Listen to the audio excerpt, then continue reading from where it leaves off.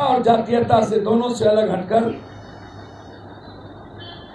मैं आपको बहुत क्लियर कह रहा हूँ यदि आज भी सांप्रदायिकता से और जातीयता से अलग हट करके सच्ची श्रद्धांजलि रामविलास जी की होगी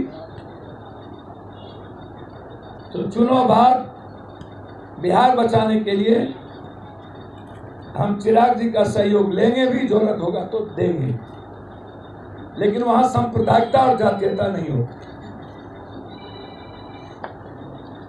पूरी पीडीए पारिवारिक संकट के समय चिराग जी के साथ खड़ी। व्यक्तिगत तौर पर, पारिवारिक तौर पर हम उनके साथ खड़े। लेकिन उम्मीद करते हैं कि चिराग जी आप बिहार को जातीयता से और सांप्रदायिकता से निकालने में रामविलास पासवान जी की जो सच्ची सोच थी, उसमें आप आगे चौथी और तीसरी और अंतिम,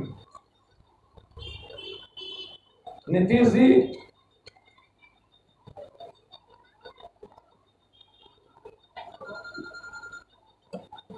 और विपक्ष के नेता से। दो दिनों में पूर्णिया का क्लीन चिट कैसे हुई? ये बात सही है कि किसी भी परिस्थिति में पूर्णिया के मर्डर में विपक्ष के नेताओं की भूमिका नहीं हो सकती।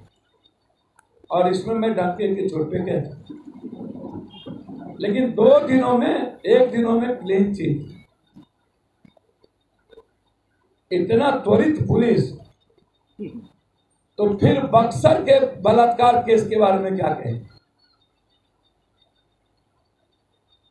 हथरस के बलात्कार घटना के बाद, जोगी को तो पता ही नहीं है कि बेटी का बलात्कार भी हो तो साफ़ कहते हैं कि बलात्कार हुआ ही नहीं। इतना बड़ा